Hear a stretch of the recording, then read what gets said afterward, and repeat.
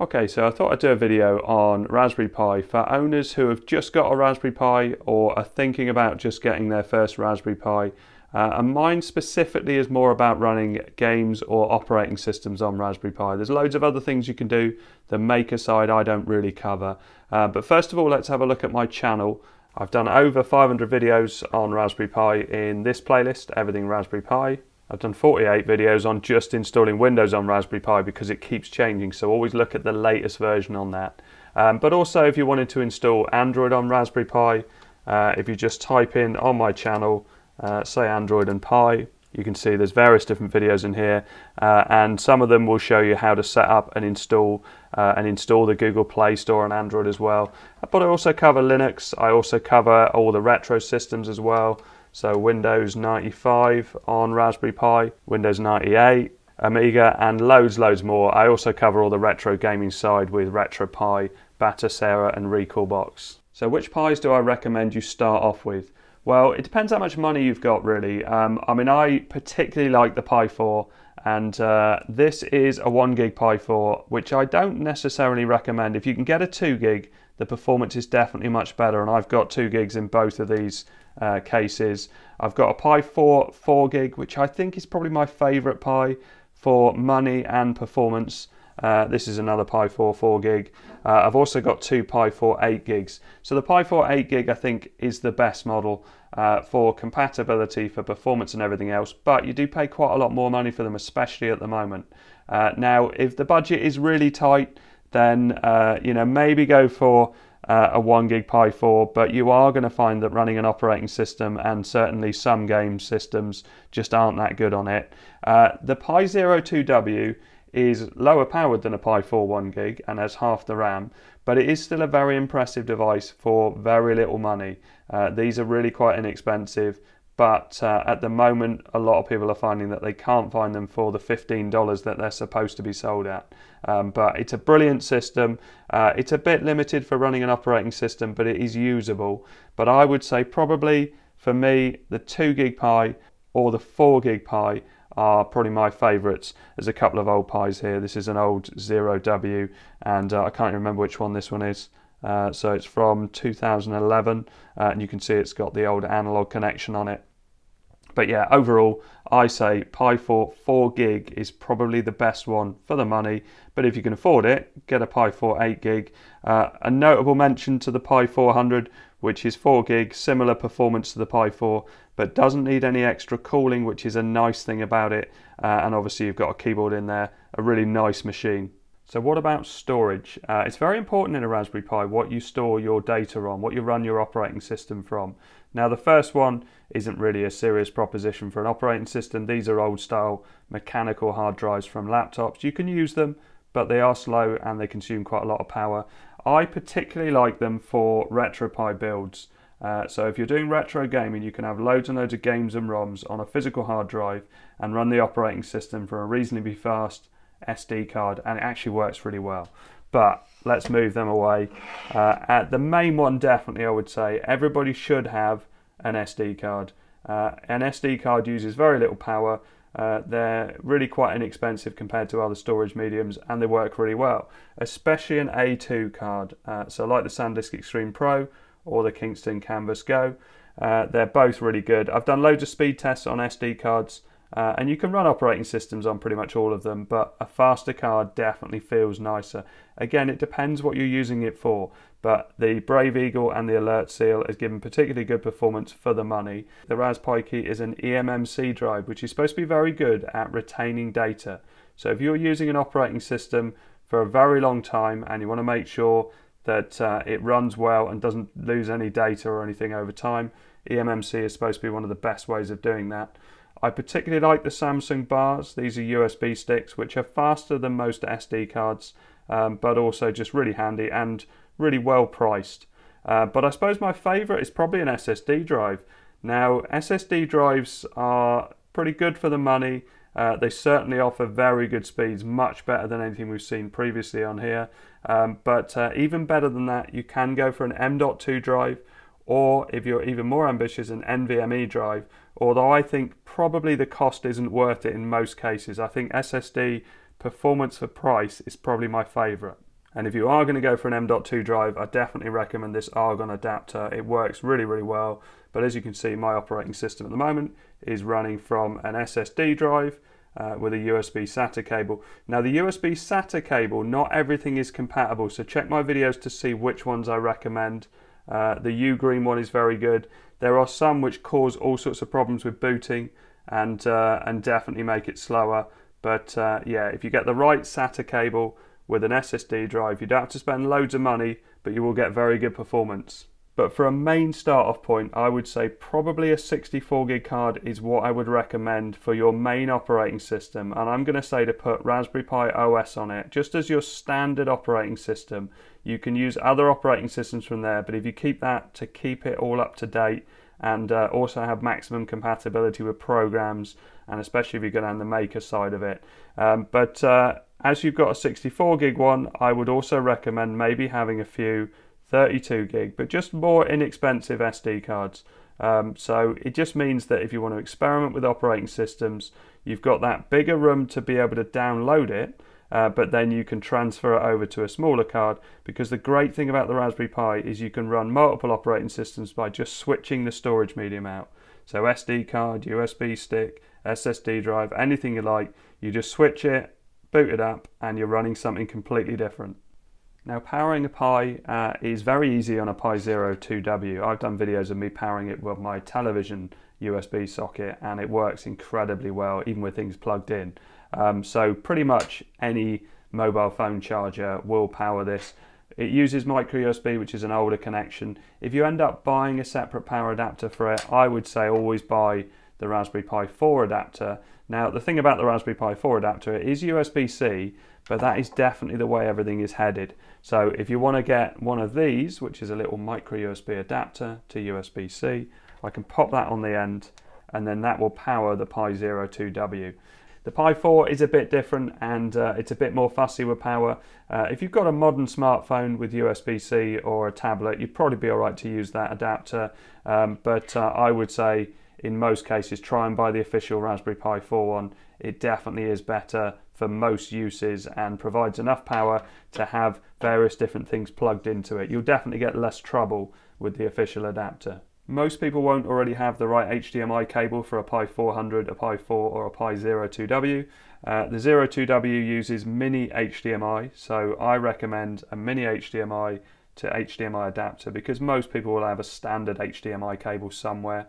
Uh, the Pi 4 uses two micro HDMI uh, you only need to use one of those, uh, but micro HDMI to HDMI adapters are my favoured one, uh, again, because most people have already got an HDMI cable.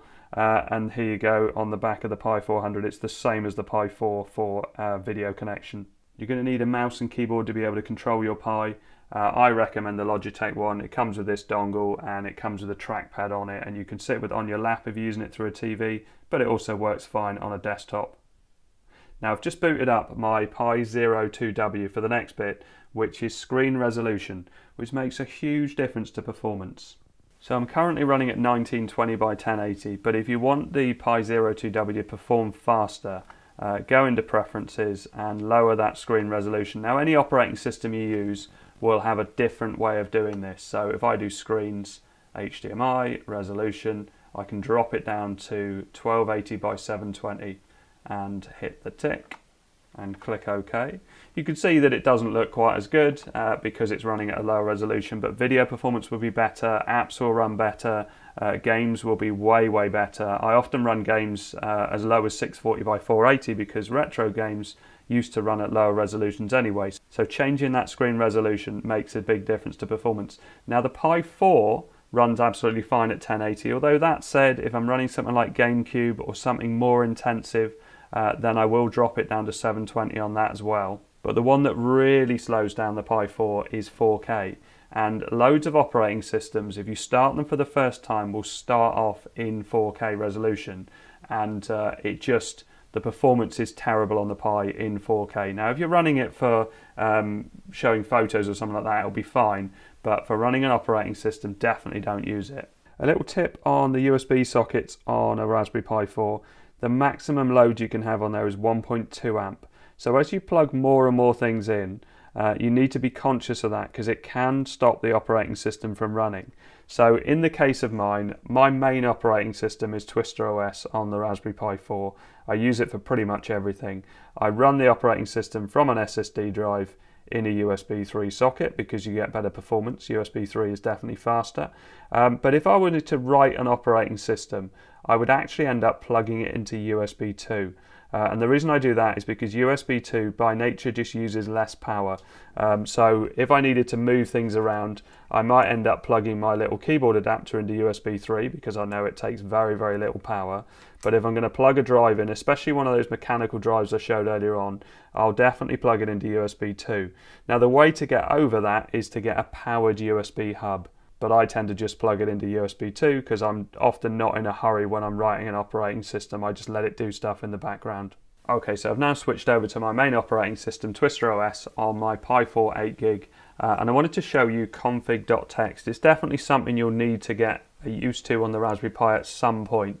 Now, if I go into folders and I look for the config.txt, so it's in my file system, I can go to boot and there'll be a file here, config.txt. So I can access that and you can see what the settings are. And this is like a BIOS on a PC. Uh, so it's kind of this, the, the settings it uses before it boots the operating system. So you can see most things have got hashes, so most things aren't actually enabled. But if you delete the hash, then it will enable that feature.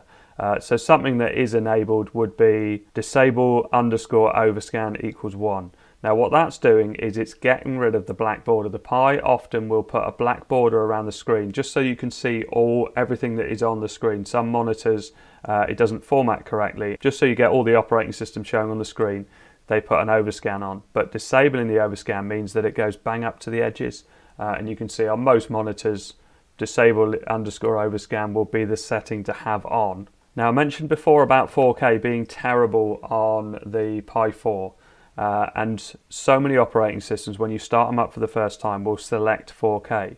So if we want to adjust that, uh, there's a setting we can put in config.txt to make it boot up in 1080 or below by default. But I can't do it in here because watch what happens if I try and change something. So if I try and put a hash in here, so that would get rid of that line and I'd have a black border around my screen. If I now try and exit and then hit save, it won't let me. So permissions denied because this is the operating system I'm running, so it doesn't let me change it. Now there is a way around this, and it's with the terminal. Now if you use Linux, you will end up using the terminal at some point. Uh, so if I call up the terminal, and I need to type in sudo nano forward slash boot forward slash config.txt. So what that does is it allows us to change it. So if we go down here, uh, if I was to put that hash in this time, you can see that it's changed there and I can hit Control X and yes and enter to save that. Now I don't actually want to save that because uh, I like the way that it is at the moment so I'm going to go back in and uh, I'm going to delete that hash. And if I go down to the bottom just to show you the overclock settings that I use on this operating system. Obviously overclock at your own risk, although that said I've overclocked loads of my Pis in loads of videos uh, even without cooling. And what the Pi tends to do is it throttles itself back. So if it starts to get beyond a certain temperature, uh, it will lower the CPU frequency. It won't work as fast uh, until it cools down and then it will go back up again. So it's not very risky, but obviously if it's your only Pi, overclock at your own risk. So these are good settings for my Pi 4 8 gig. Uh, so ARM frequency equals 2147. The Pi is generally 1500 megahertz, um, but this runs it at 2147. So it's a considerable overclock, uh, and it definitely results in a much faster operating system. The GPU frequency, I often don't change actually, um, but this is raising it up slightly to give a better graphics performance. And the over voltage equals 8 is required for the overclock. So as you're basically using more power uh, and running the processor faster, it needs a bit more power. So overvoltage equals 8 is increasing the amount of power it, it, it allows the Pi to have. If you use it too low, then uh, it often won't boot. So as you raise the settings, you're, you're increasing that to match.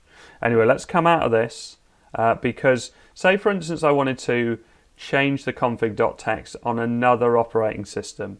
So say I'd just written an operating system to an SD card uh, and its Ubuntu Mate is on this. Uh, if I pop it into a card reader and uh, pop it into, I'm going to plug it into the USB 2 socket. Remember what I said about too many things plugged into USB 3. It'd probably be right with an SD card in a reader, but just for safety, and I am not worried about speed on this because I'm not accessing very much. So let's go into Files, and you can see here there's a couple of things here which have got eject symbols. So the operating system doesn't have an eject because you can't eject it while you're running an operating system, but system boot and writable does. So if I click on system boot and I look for that config.txt again, what you often find in different operating systems, the config.txt can be in different folders. And the good way about doing it this way is you don't have to work out where it is, you just have to look through the folders, find config.txt, and you can open it up. Now, because this is Ubuntu Mate, this is a different operating system that I'm accessing through Twister OS, or it could be Raspberry Pi OS uh, that I would be using. Uh, I can now change anything in here and I can actually save it and it will work. So I'm going to add that line that forces 1080 because say for instance I've just written Ubuntu Mate to this SD card and I want to start it up on my 4K TV. If I start it up as is, it will be incredibly slow. It will run at 4K and the actual initial setup will take ages. So let's just make it start at 1080. So the line I need is HDMI underscore ignore underscore EDID equals 0 XA 5 four zeros 80. So now I can save that, safe in the knowledge that it will only boot as high up as 1920 by 1080. If you decide you want to use it in 4K on a 4K TV, you can do that. So let's hit save and replace. So now if I was to close that down and then open it up again, you'll see that that line HDMI ignore is present, so we know that it's saved. Okay, so now I'm back in Raspberry Pi OS 32-bit, the sort of standard operating system for the Pi, and uh, I wanted to show RasPi config, uh, which is a bit like config.txt in the way that it deals with lots of settings and things. Uh, but if we do sudo raspi-config in terminal and press return, you can see we've got various different options here. So system options, you can see there's options for changing the audio between the HDMI and the 3.5mm plug. We can change our password, we can do various things in here. Uh, we've got display options here, performance options, although the overclock doesn't work on a Pi 4. And then we've got things like advanced options, and this allows us to update the bootloader. So you want to be using the latest bootloader. If you happen to get a Pi 4 um, that has an older bootloader, it won't support USB boot because that got added at a later date. So uh, you can update it within Raspi config, and you can also update Raspi config within this as well. So let's close that down. Getting apps and games, it's easy on Raspberry Pi OS because it has an app store in it. So we go into preferences and add remove software. But it's not the best experience and it's not the easiest thing to find. Uh, and you'll do a search for something and you'll get a load of results that don't really seem to apply. But uh, pretty much everything you'll find in here will work because it's curated just for the Raspberry Pi. Uh, and so it is definitely worth having. Um, but something I also think is worth having uh, is PiKISS and PiApps. So if I go to System Tools uh, and go to PiKISS, this is something you install separately. I've got another video on PiKISS on how to install it and kind of goes through uh, you know various different bits and try a few things out. So say for instance games, uh, something you wouldn't normally be able to get on the Pi 4, GTA 3, Vice City. Uh, we've got uh, Half Life on there as well. All sorts of great things in here. Emulation is brilliant on PiKISS. So we have uh, emulators for Wii and GameCube. We've got Mega Drive. Uh, we've got PSP uh, as well, PlayStation 1. So they're all installable through PiKISS and it makes the whole process super easy. So let's quit out of that because we also have PiApps as well. Uh, so we go to accessories and Pi apps. So both of these don't come installed. You have to install them, but I have videos on them separately. Uh, but say, for instance, you wanted multimedia, you can go into multimedia and all of these things that come up, you just click on them and click install. Uh, and there's loads of great things that wouldn't ordinarily be on the Pi uh, that aren't normally supported and uh, you can install them very, very simply through this. So on a Pi Zero, I always use the Puffin browser because no other browser seems to work very well at all on it because it's such a, a low powered device. Um, but uh, yeah, Puffin can be installed uh, and you can also check information to see what sort of thing it does, and this is regularly updated, as is PiKiss as well. Now, one of the great experiences of having a Raspberry Pi is being able to install different operating systems and play around with things. And uh, certainly, some of the 64 bit operating systems are great for certain things. I use Ubuntu for uh, downloading torrents and also unzipping large files, I tend to find that it works better. As a 64 bit operating system, it tends to handle files better. But what you'll notice if you go in the App Store and a lot of these other alternative operating systems is that they won't allow you to install apps to the Raspberry Pi because the apps are mostly designed for x64 and x86, so a sort of laptop or desktop processor. Things are changing. Uh, and my new MacBook has got an M1 processor in it, uh, which is based on ARM, uh, just like the Pi. Uh, and things like Pi Apps and PiKiss obviously help that situation. Uh, and also Twister OS helps because it allows you to play Windows apps and games within Linux. It also comes with loads of pre-installed software as well, and loads of themes which I really like. So have a look at my video on Twister OS if you want to see uh, my favorite operating system on the Pi. I think it's a really good idea to have uh, as many SD cards or USB sticks as you can so that you can experiment with operating systems. But if you only have one, uh, I've got an SD card in here. Let's start it up. So this is PinOS, uh, which has multiple operating systems on it. You can see here Raspberry Pi OS 32-bit, Ubuntu Mate, Recalbox, so a game system, Lineage OS, which is Android, Twister OS and Raspberry Pi OS 64-bit. So if I was to click on Twister OS and boot, it will boot into that operating system. But these can all be on one SD card, USB stick, SSD drive, uh, and you've just got everything together. So if I click on files here, you can see down the left hand side, uh, we've got loads and loads of partitions, and these are all the other operating systems. So I can go into the boot folder and access various different things of another operating system from here. You kind of work, got to work out which one's which. Obviously, the Recalbox is very easy to work out, and in fact, the share folder is there, so we can put ROMs in there to add the games to Recalbox if we want to. There's also another multi-boot operating system, and that's called BerryBoot. So if I do a search for BerryBoot Lead PSP video, because I have done loads of videos on BerryBoot. Uh, and you can even convert images yourself for BerryBoot. And uh, there's also a Berry server where there's uh, another place you can download more operating systems. But there are also loads within PinOS, so I'm not saying one is better than the other. They are both excellent. Speaking of excellent, uh, the comment section on my video. If you get stuck, if you've got a new Raspberry Pi and you've got a question, pop it in either a relevant video or if that video's been out a while then obviously people aren't going through the comment section as much. So just put it on the latest video or a Pi News video. They probably get the most views from me.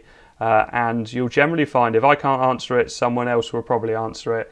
Uh, the Raspberry Pi community is excellent and overwhelmingly positive. Uh, you know for a comment section on YouTube I find that the majority of my comments are very helpful, very supportive, very positive, and it's a great community to be part of. Uh, I've had a really good year on YouTube. Uh, I've just had this through, uh, and it says I've had 6.5 million views, which I'm really impressed with. My top video is not a Raspberry Pi video, which is interesting. Um, I have also had 10,626 comments this year, and I do try and read them all, do try and answer them all because I get loads back from it. So uh, I often get great information and sources for my videos, and also just especially things being fixed and things like that on the Pi. Uh, it is very helpful. So anyway, I hope this all helps. Uh, if you just bought a Raspberry Pi, you have bought the right product. Uh, and if you already had a Raspberry Pi, hope you learned something new. Thanks very much for watching. Please like and subscribe.